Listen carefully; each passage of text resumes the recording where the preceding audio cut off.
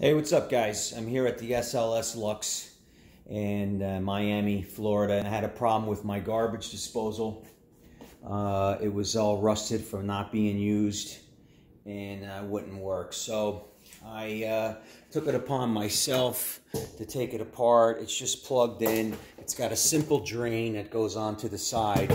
Little did I know that there is a reset button right there and that was popped out and that's what was causing the unit not to work.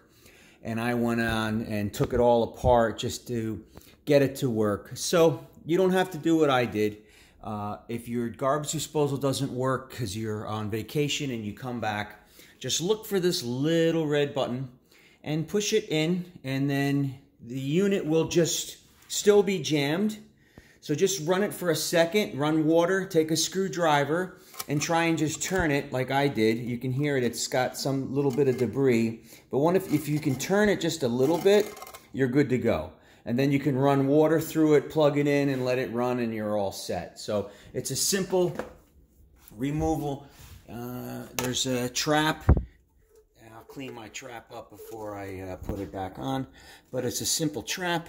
Goes in here, and this connects to the garbage disposal. Um, the garbage disposal just has a little quarter turn that just turns this on. This is the dishwasher output.